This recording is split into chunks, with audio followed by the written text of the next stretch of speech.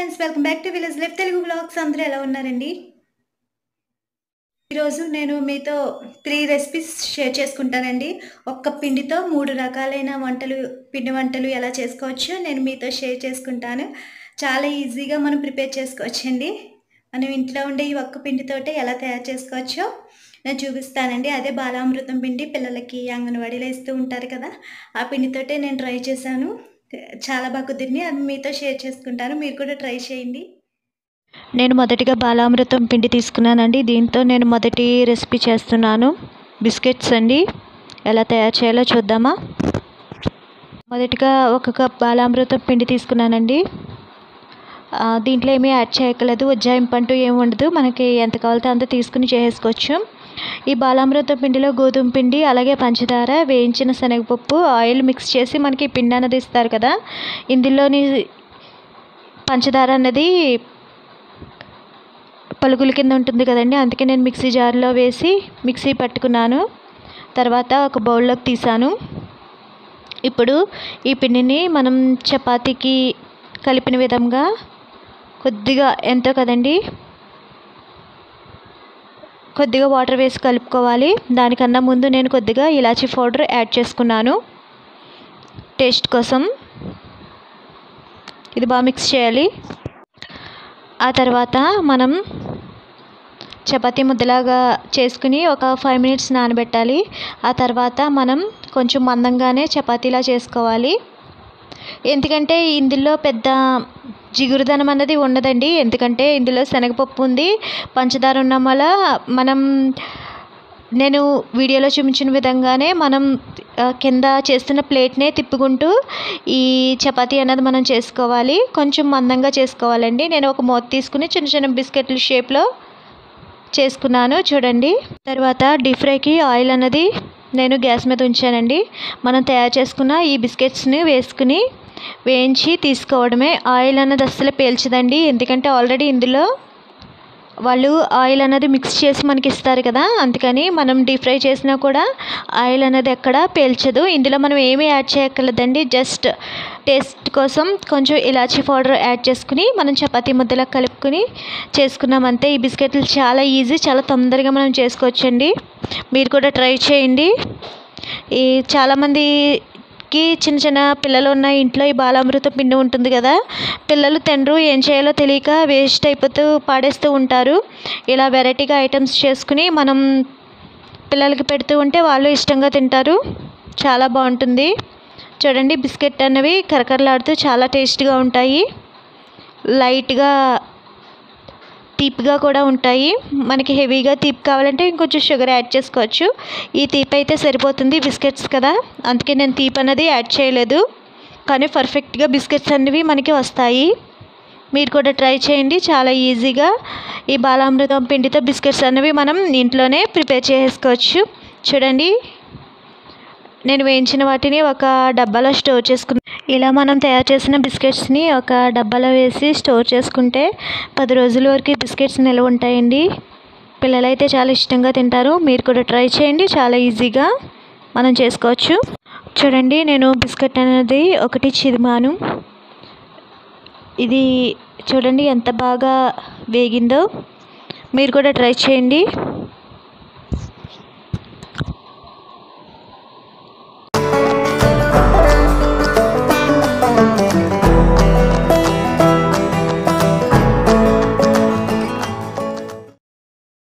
Second recipe వచ్చి బాలామృతం పిండితో బర్ఫీ అన్నది తయారు చేస్తున్నానండి. మొదటిగా ఒక మిక్సీ జార్ తీసుకుని దానిలో కొద్దిగా వెన్న అనేది వేసుకున్నాం వెన్నతో పాటు కొద్దిగా సోంపు అన్నది మిక్సీ జార్లో వేసుకోవాలండి. రెండు మనం కలిపి మిక్సీ పట్టాలి. ఈ సోంపు అన్నది మెత్తగా అవ్వాలి. అలాగే ఈ వెన్న అన్నది కూడా మనకి మెత్తగా రావాలి. అందుకని ముందుగా సోంపు అలాగే వెన్న వేసుకుని మిక్సీ పట్టుకోవాలి. ఆ తర్వాత నేను బాలామృతం పిండి వన్ కప్ ఇందులో వేసానండి. అలాగే ఇంకొక హాఫ్ కప్ అన్నది వేసాను. ఎందుకంటే ఇందులో షుగర్ ఉంటుంది కదా ఆ షుగర్ కరగాలి కాబట్టి మనం ఒకసారి మిక్సీ పట్టుకుంటే ఇందులో ఉన్న షుగర్ అనేది కరుగుతుంది. అలాగే వెన్న అన్నది కూడా మిక్స్ అవుతుంది కదా. అందుకని మిక్సీ పెట్టి ఒక బౌల్లోకి తీసుకోవాలి. తీసుకున్న తర్వాత ఇది మనం ఒక చిటికెడు ఉప్పు అన్నది యాడ్ చేసుకోవాలి. అలాగే ఒక చిటికెడు వంట సోడా అన్నది యాడ్ చేసి బాగా మిక్స్ చేసుకోవాలి. ఆ తర్వాత ఒక్కొక్క స్పూన్ చొప్పున వాటర్ అన్నది వేసుకుని మనం ఇలా గట్టిగా చపాతీ ముద్దలా చేసుకోవాలండి. వాటర్ అన్నది అస్సలు ఎక్కువ వేయకూడదండి. స్పూనుల ప్రకారం వేసుకుని మనం మిక్స్ చేసుకోవాలి.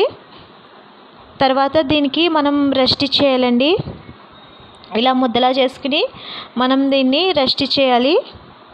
ఒక మూత పెట్టి ఒక పావు గంట రెస్ట్ ఇవ్వాలి. ఆ తర్వాత ఒక బౌల్ తీసుకుని గ్యాస్ మీద ఉంచి దానిలో ఒక కప్ షుగర్ వేసుకోవాలి. కొద్దిగా వాటర్ అనేది వేసుకుని ఈ పంచదార కరిగించాలండి. పాకం అనేది రావక్కర్లేదు జస్ట్ పంచదార కరిగితే చాలు. ఈ బర్ఫీ అయితే చాలా టేస్ట్గా ఉంటుందండి. కలాకండ మనం తింటాం కదా స్వీట్ షాప్లో అమ్ముతారు ఆ టేస్ట్లో ఉంటుంది. ఈ పంచదార కరిగిన తర్వాత దీంట్లో కొద్దిగా ఇలాచీ పొడి యాడ్ చేసుకుని స్టవ్ ఆఫ్ చేసి పక్కన ఉంచుకోవాలి.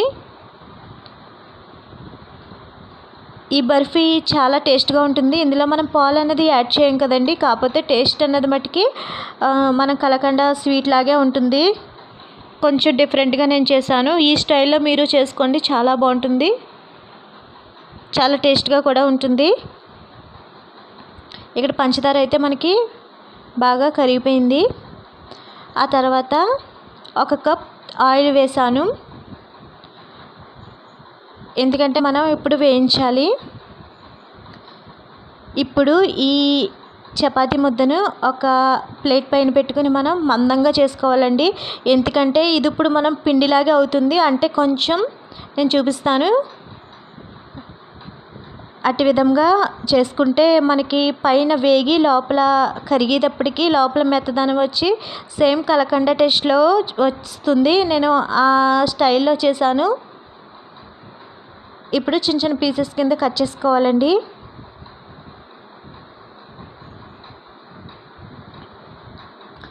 డైరెక్ట్గా మనం పిండి కూడా వేయించుకోవచ్చు. కాకపోతే పిండి వేయించుకుంటే అది మెత్తగా అవుతుంది. దీంట్లో షుగర్ కూడా ఉండి మళ్ళా ఇది మెల్ట్ అయిపోతుంది. అందుకని ఈ ప్రాసెస్లో వేయించుకుంటే పిండి అన్నది వేగుతుంది. అంతేకాదు ఈ బర్ఫీ టేస్ట్ అన్నది కూడా కొంచెం డిఫరెంట్గా ఉంటుంది. అందుకే ఇంత ప్రాసెస్ చేశాను. చూడండి మనకి ఎలాగైనా పీసెస్ని మనం ఆయిల్లో వేసుకోవాలి. పైన వేగి లోపల మెత్తగా అయిపోతుంది. ఇలా చేసుకున్న తర్వాత మనం ఆయిల్లో వేసుకోవాలండి. ఆయిల్లో వేసుకున్న వెంబటనే చుట్టూ కలర్ వచ్చి మధ్యలో పిన్ అన్నది వస్తుంది. మనం ఆయిల్ కూడా ఎక్కువ తీసుకోకూడదండి కొద్దిగా తీసుకోవాలి. దాంట్లో ఈ ముక్కల్ని వేసుకోవాలి. చూడండి ఇది మనం పీసెస్ అన్నవి ఇందులో వేసుకున్నాం కదా పైన కొంచెం వేగిన తర్వాత మనం క్రష్ చేసుకోవాలి ఎందుకంటే పైన కొంచెం వేగడం వల్ల మనం తినేటప్పుడు కలకండ తిని స్ట్రక్చర్లోకి ఈ బర్ఫీ అనేది రెడీ అవుతుందండి. అందుకే మనం చిన్న చిన్న పీసెస్ కింద మొదట వేసుకుంటే అది బాగా వేగిన తర్వాత మనం మెల్ట్ చేసుకుంటే లోపల పిండి అన్నది కరిగి బాగా వేగుతుంది. చూడండి బాగా మిక్స్ చేసుకోవాలి. ఇప్పుడైతే పిండి బాగా వేగింది కదా ఆయిల్ అన్నది పైకి వచ్చింది. నేను ఒక కప్ ఆయిల్ వేసుకున్నానండి. ఆయిల్ మొత్తం పైకి వచ్చేస్తుంది కదా దాంట్లో మనం షుగర్ సిరప్ వేసుకున్నప్పుడు ఇలాగా పిండి అన్నది విరుగుతుందండి. మనం మైసూర్ పాక్ చేసుకుంటాం కదా అటు విధంగా ఈ పిండి ఇరుగుతుంది. ఇరిగిన తర్వాత చూడండి వేసుకున్న ఆయిల్ అంతా పక్కకు వచ్చేస్తుంది. ఆయిల్ మనం తీసేసుకోవచ్చు. ఇది గట్టిపడ్డాక చూడండి మధ్య మధ్యలో పీసెస్ ఒక పావు గంట తర్వాత చూడండి ఆయిల్ మొత్తం పక్కకు వచ్చేసింది కదా. నేను మొత్తం ఈ ఆయిల్ అంతా తీసేసుకున్నానండి సైడ్కి ఆయిల్ మొత్తం జస్ట్ మనం ఇలా ప్రెస్ చేస్తే పక్కకు వచ్చేస్తుంది. అప్పుడు మనం పీసెస్ కింద కట్ చేసుకోవాలి. ఆ తర్వాత ఇంకొక పావు గంట అలా వదిలేయాలండి. మొత్తం హాఫ్ అన్ అవర్ తర్వాత చూడండి పీసెస్ అన్నవి గట్టిపడిపోయినాయి. మనం తీసుకుని సర్వ్ చేసుకుంటామే. చాలా టేస్ట్గా ఉంటుందండి ఈ బర్ఫీ అన్నది. మనం పాలు లేకుండా కలకండ చేసుకున్న టేస్ట్లో ఇది వచ్చింది. చూడండి మనకి ఈ బాలామృత పిండితో బర్ఫీ అన్నది రెడీ అయిపోయింది. మీరు కూడా ట్రై చేయండి పిల్లలైతే చాలా ఇష్టంగా తింటారు. చూడండి నేను చిన్న ముక్క పీస్ అన్నది చేశాను. ఎంత బాగా ఎంత మంచి స్ట్రక్చర్లో వచ్చిందో మీరు కూడా ట్రై చేయండి. చాలా ఈజీగా ఈ బర్ఫీ అన్నది మనం ఇంట్లో చేసుకోవచ్చు.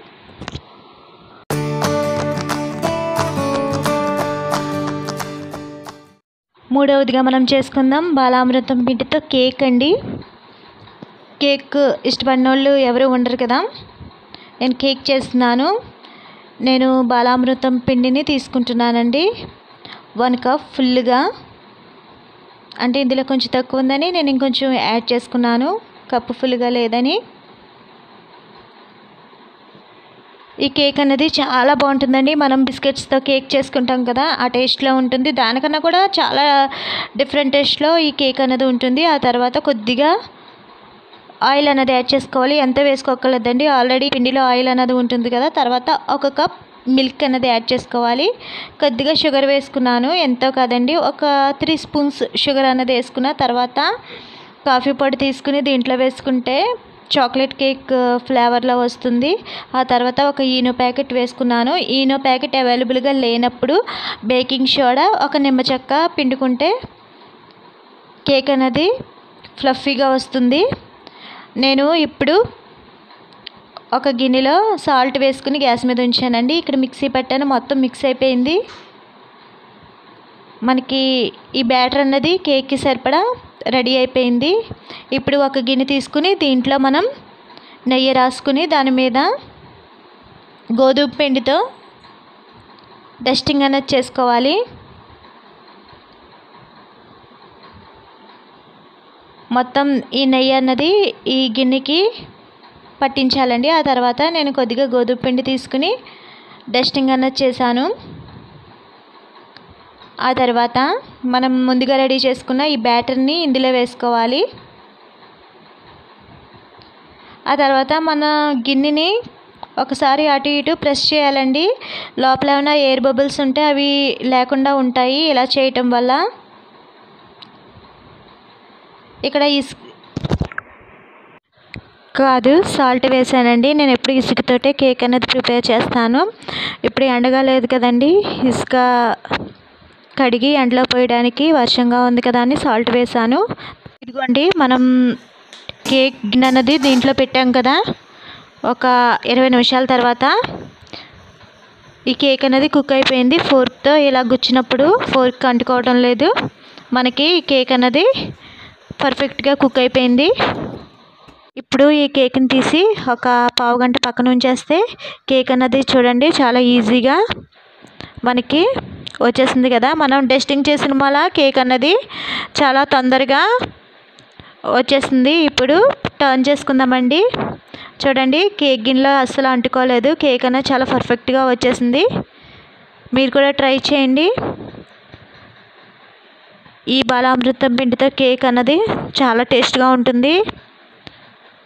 పిల్లలైతే చాలా ఇష్టంగా తింటారు.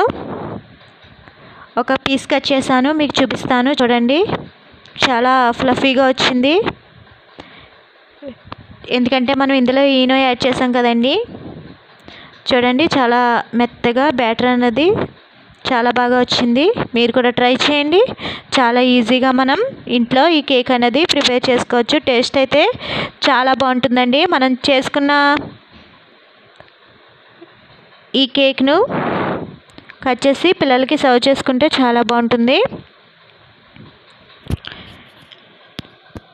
చాలా తొందరగా మనం ఇంట్లో ఏమీ స్నాక్స్ లేనప్పుడు ఇలా ప్రిపేర్ చేసి పిల్లలకి పెట్టచ్చు. చాలా హెల్దీ. టేస్టీ కూడా.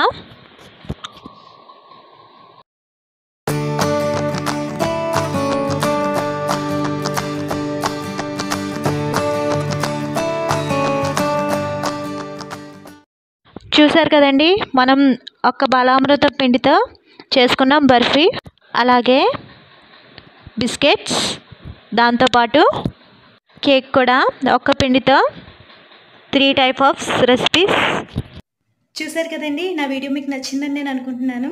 నా వీడియో కనుక మీకు నచ్చినట్లయితే లైక్ చేయండి షేర్ చేయండి కమెంట్స్ చేయండి. నా వీడియో కనుక మొదటిసారి మీరు చూస్తున్నట్లయితే please subscribe to my channel. Thank you.